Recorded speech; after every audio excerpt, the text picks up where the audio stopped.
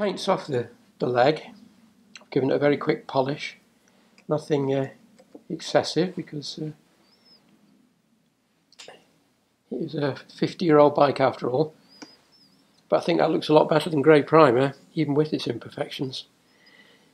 So the next job is to uh, get 190 ml of 20 weight fork oil.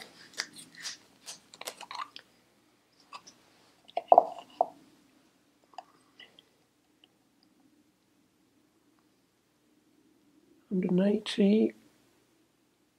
That'll do. Hundred and ninety is close enough. The odd 0.2 of a mil ain't going to make much difference. Uh, and then we're, I'm just going to pour it straight in the leg, and then we'll get on with trying to get this top cap refitted. Right, the process wasn't quite as tricky as I expected. The flats, I found a 21 mil spanner, it's not right, but it's the closest thing I had. And then I just used a piece of wood to protect my hands, pushed down, and started it up. So my concerns about it being really difficult were unfounded. So we now have cleaned up fork leg, refilled with oil, in perfectly usable condition with new bushes for the caliper. So this can go back on. I'm just going to clean out the holes where the forks sit, just to make sure they're nice and clean. Please excuse the distracting uh, yellow background, just this was covered in dust sheets because I'm in the middle of painting some bits for the BSA project. And in the brief interlude, I'm doing this, so I don't want to uncover it all again. So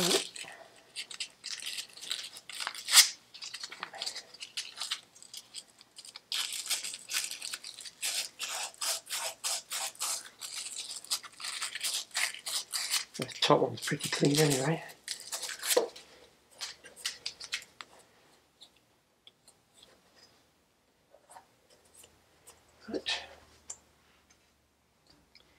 A thin smear of grease to uh, encourage movement.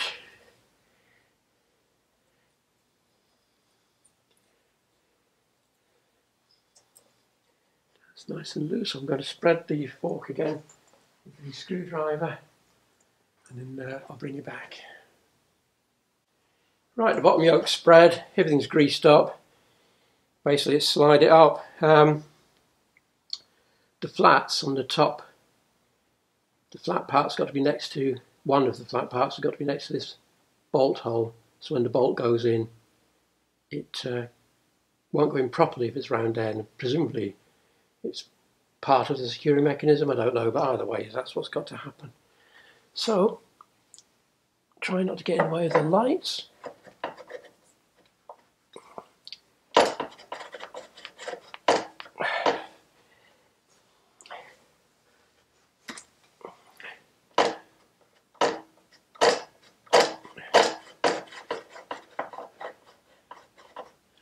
There we go. So just double check the flat's in the right place.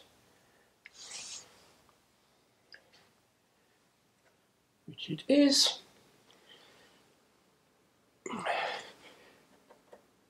Make sure it's all the way up. Which it is.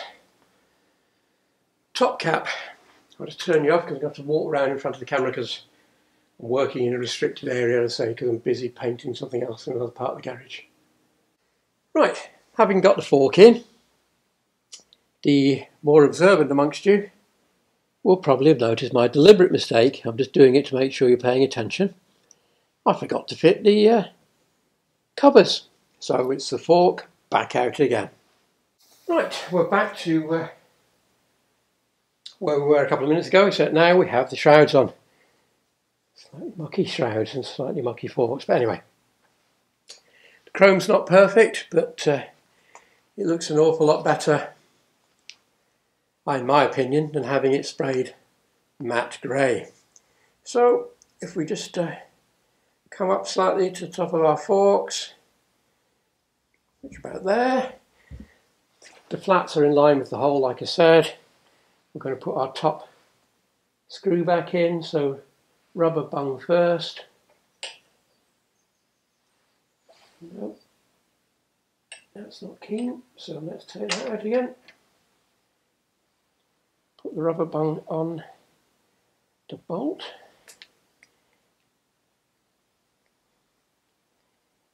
And then put it in.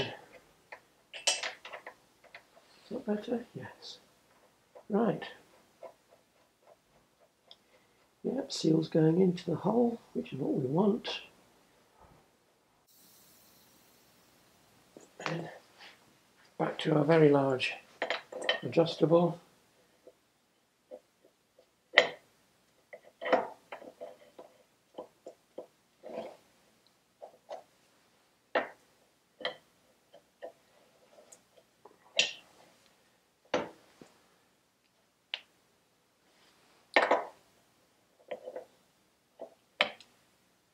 Now I will save the final tightening of that until there's some weight on the bike or else it will just keep spinning the, uh, the fork leg round and round. But with the wheel in and the weight on it, they should tighten up nicely. Which just leaves the removal of our wedge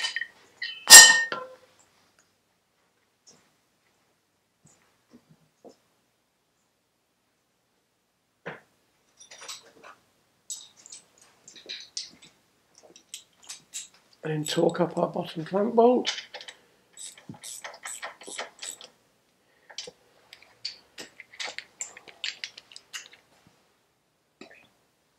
Which should be £22 according to the uh, go. Right. One rebuilt fork. Well, not rebuilt because I haven't done the seals. But one tidied up fork. Bit covered in oily fingerprints now, but uh, that'll all polish up again. Rebushed, ready for the caliper. So, there's the comparison. Can you see that? No, you can't. Let me just drop you down again slightly. There's a comparison between polished and grey. Polish definitely does it more for me. So I'm going to take the second fork out and do precisely the same job on that. Check it over, make sure the seal's okay. If it isn't, I'll show you seal replacement. And then uh, we can put the cowls back on and start sorting out the electrics because I want indicators on this bike. So we need to sort that out as well. I won't show you any of that unless I come across something different because it will just be a repetition of what I've just done. Right, it is literally 30 seconds since I turned the camera off to start on this side and I'm bringing you back straight away because I did say I'd show you anything unusual. Well, I went to undo the bottom clamp bolt and there isn't one. So the whole fork is free to just unscrew. Which frankly is really quite worrying. So I'm going to have to find out the size of the bolt and get that replaced. There does appear to be threads in there. No obvious sign of damage to the thread. So where the bolt's gone, who knows. But another reason for checking out new bikes, definitely. I really, I mean, I, I suppose with the weight of the bike on the fork, it was never going to come out. But uh, pretty, pretty unpleasant thought that you'd be riding around without the bottom yoke clamped firmly to your forks. Anyway, let's see what other horrors lie within.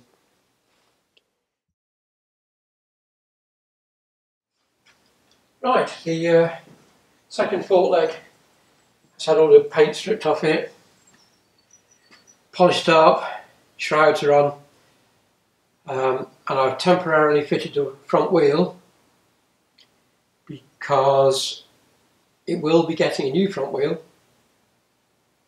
but this tyre is hard. It's probably usable but it's a bit hard. And I'm waiting for a new tyre and a new inner tube because the wheels that are on here have got the large hole for the rubber inner tube and the new ones which you'll see later have got the small hole for the metal inner tube so I need a new inner tube, a new tyre, a new rim tape and then we'll put the wheel back on.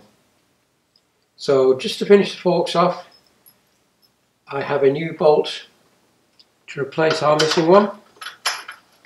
We're in here. So we shall fit that and torque it up. And then the front end will be left for a short time until those parts arrive to do the wheel. I am still deciding at the minute whether I should just paint it all before I start using it. I haven't decided. I suppose it depends how well the rest of it goes and how much time we have. Just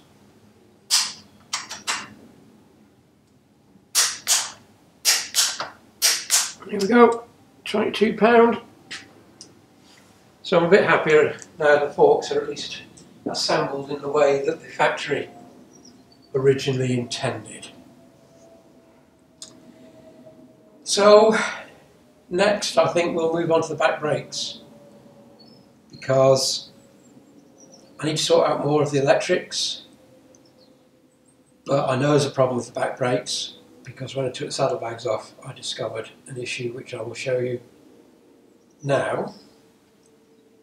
So I think I'll do what I did to the front, strip it all, rebuild it all and whilst I'm waiting for the parts for that I'll sort out the electrics. So, back brake next. Right, starting up front with a forward control master cylinder, which is as I said in the walk round, which is the previous video, the first video I did on the uh, shovel head. Uh, it says DOT 5 brake fluid only, which given the age of the vehicle clearly isn't right. So I'm going to have to drain some of it off and test it, which I'll show you in a minute. But before then, it appears at a quick glance you've got a bolt here, a bolt on the other side there, and of course your brake line, which is a simple 3 8 which I have a spanner for in my hand. And I have a small glass jar to collect some of the brake fluid because I want to look at it. A quick uh, quick peek in there and it looks uh, pretty old and horrible so a rebuild is in order I think but first that hole must be to stop that turning I'm assuming so let me just go and get a screwdriver for that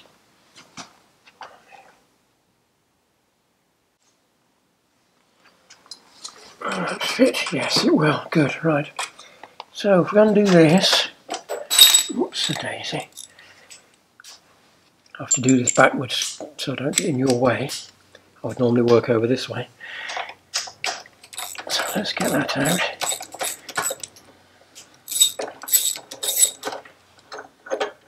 Hmm, rusty. And if I'm right, this one, oh dear me, we'll turn that. Which it does. So, there we go. And then before we go any further with that, our 3 eighths to release our brake pipe. There we go. You can't actually see the union from where you are, but it's a bog standard metal brake pipe with a 3 8 union. So nothing very exciting.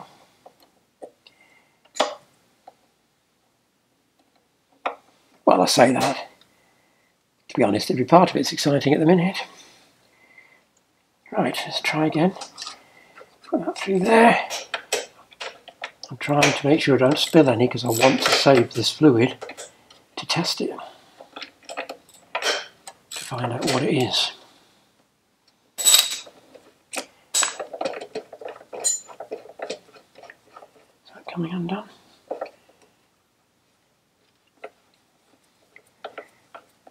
It is, but slowly.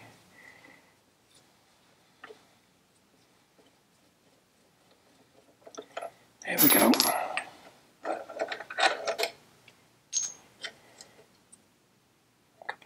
There to space it out. So let's try and. Oh. Now then, the fluid itself looks lovely and clean.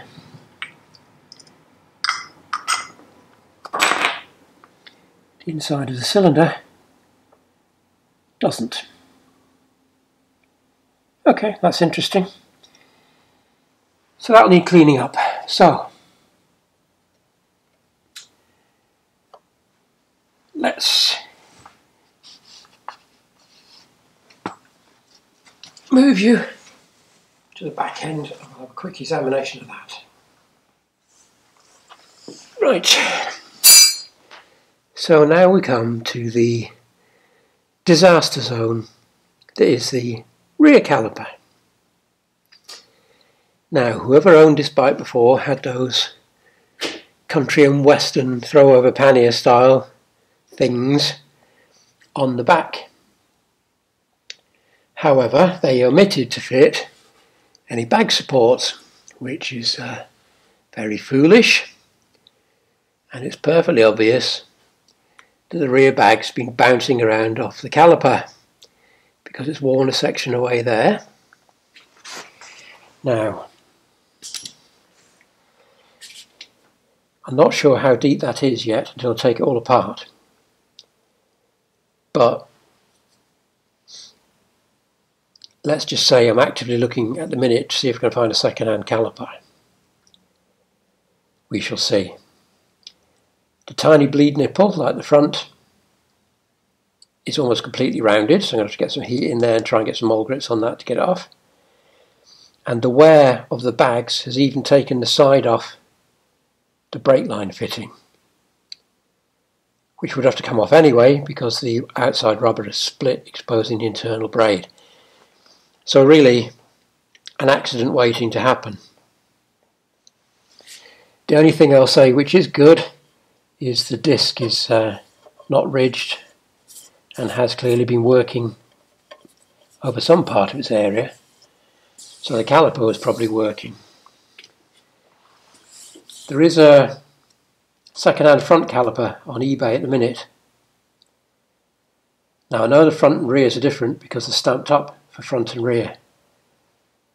Exactly what that difference is, I'm not sure. To be honest, I really don't know. Um, I'll have to do a bit of uh, research and try and find out. But for the moment, I'm going to try and loosen that, if it's at all possible. That'll stay on until I get the caliper apart and get some heat. So again, like the front, it's the four bolts and get that off and we shall see what we shall see. It's already fitted with uh, an aftermarket caliper support bracket but as you can see there's wear in the pins just like at the front so a new set of bushes in the support bracket new pin if I'm using this caliper we shall see but first of all we need to get that off don't we If only I had the right spanner. There we go. Oh well, at least it moves. So that's okay, that can stay on until I'm ready. So, split the caliper halves.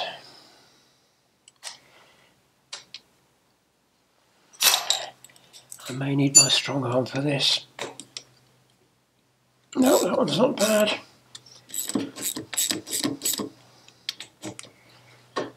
As is that one.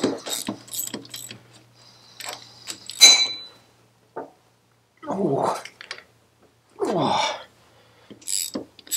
That one was a bit tighter.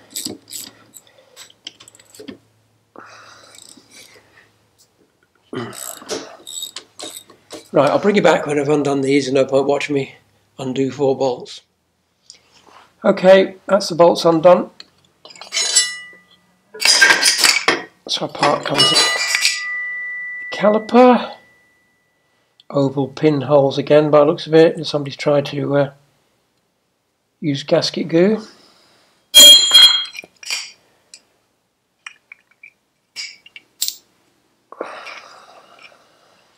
Again, the pads are not that bad given how thin they are when they're new. But anyway, more gasket goo on that side of the caliper. Worn out securing pin. Oh dear, that's the bush. that You saw me having to force in on the front forks. That's obviously absolutely knackered. There's a pin. No doubt is also knackered.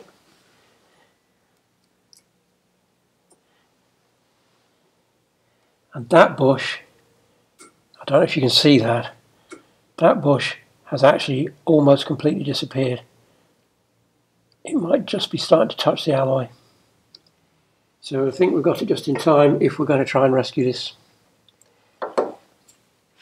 The uh, dust seal's knackered, our pin's knackered, usual stuff really, just like the front.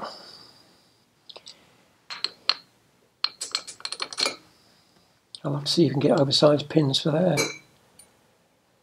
Or which is another caliper. Right, let's undo this.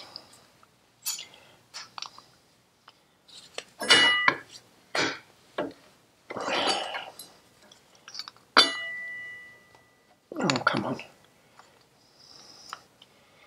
This is a problem of it being uh, damaged. Once it turns past a certain point, you can't get a spanner on it. Try that one. There we go.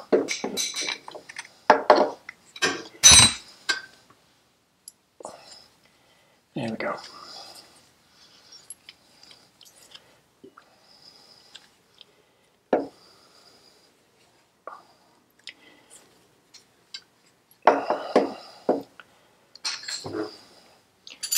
Right.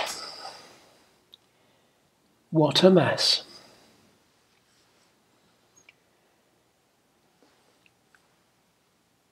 So that's going to have to come out, which means rear brake stay, rear wheel, all that sort of stuff. Right, well I'm going to have to move the bike before I do that, so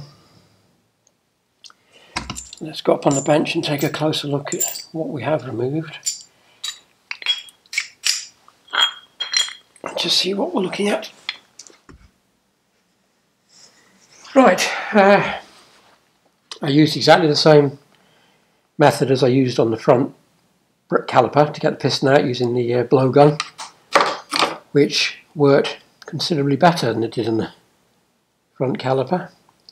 So I should have shown you that one rather than this. Sorry, should have shown you this one rather than that one. But anyway, there you are. Popped out straight away. So that's going to need new seals. So it's been sitting for a long time because it's uh, really quite disgusting. The uh, dust seal is damaged, that needs doing, so we need both of those. Now I'm going to tip this out on the bench so you can see what's inside.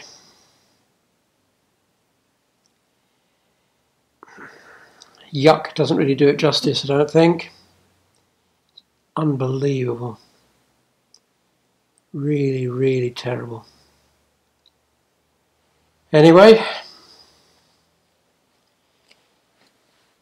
let me just get a piece of paper and we shall wipe that up.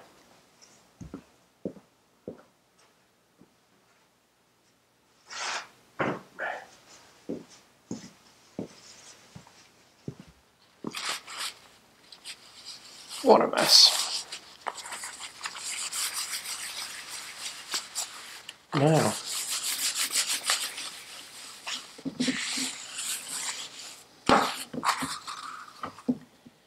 I need to get that cleaned out very well to find out if that bore is going to be reusable. The pin we know we can go oversize on, so I'll grind that off and have a look, and I'll see if we can get the bleed nipple out.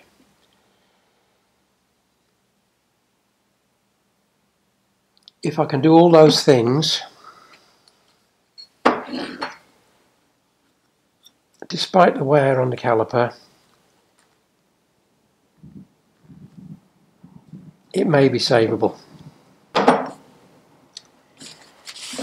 I say, I'm going to check the difference between front and rears. As I say, there's a front on eBay at the minute. If the difference is something I can change myself, then I will get a new caliper half, or a second-hand caliper half. I'm not in the market for a new one at the minute, that's for sure, because the expenditure of the BSA is quite high at present.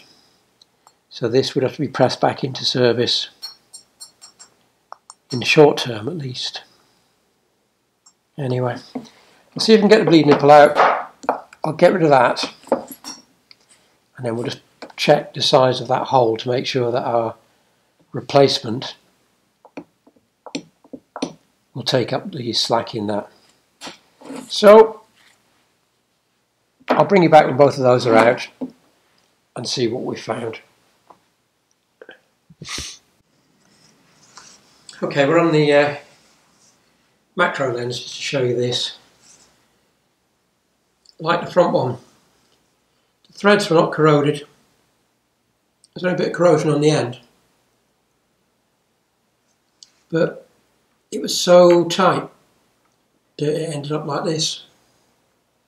Getting it out. It was incredibly tight. Lots of heat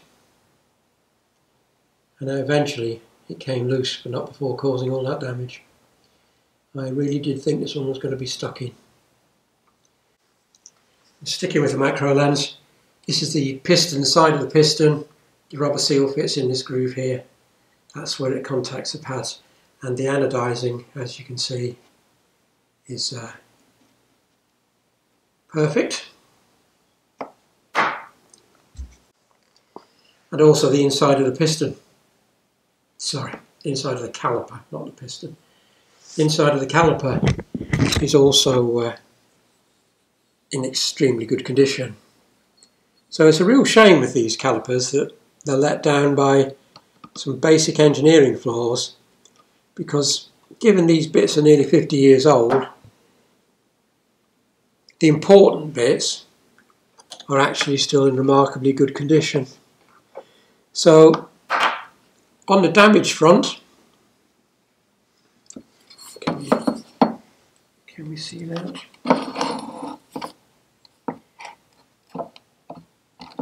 Don't know if you can see that properly.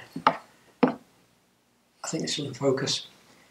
The damage near the uh, main hose feed is superficial.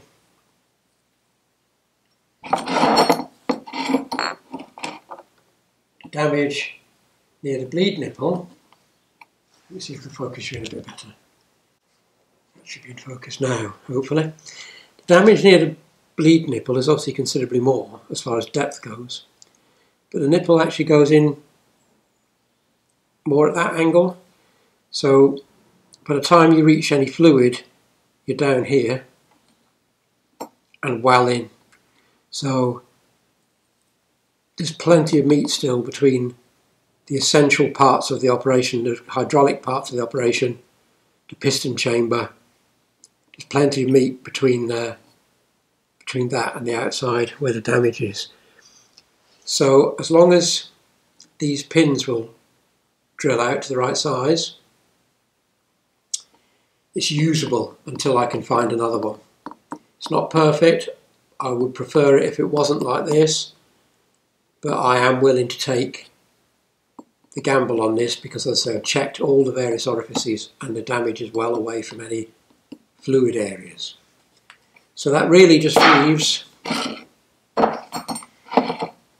it's a real pain the macro lens I'm afraid. I'll just uh, refocus you again, hold on. Right, now the hole on the outside actually looks pretty good.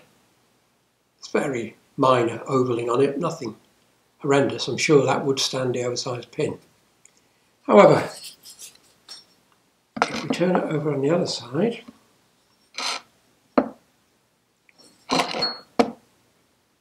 let me just bring you up there.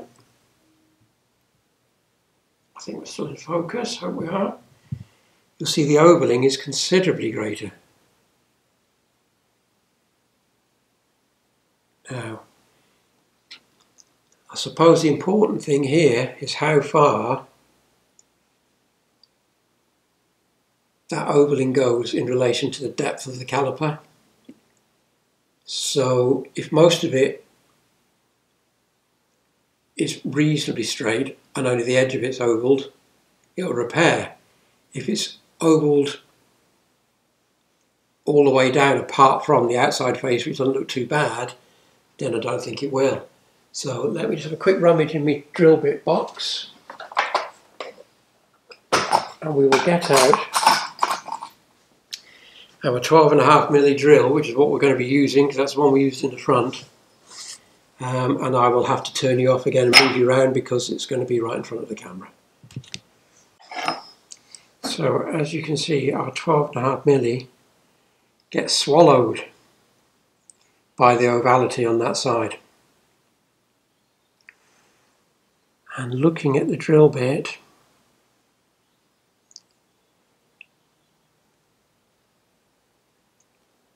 we might just get away with it. Let me turn it over and show you what I mean. That should be roughly in focus. See on this side it's bang on. That will cut cleanly right through. So on that basis, I think it will probably stand a repair because if need be, I could use bearing fit or something around the inner edge or magic metal. Once it's all bolted tight, left to go, as long as it's square, there should be enough to keep it square. I'm hoping. Right, so I need to investigate oversized pins, if at all possible, because they are quite wobbly on this half.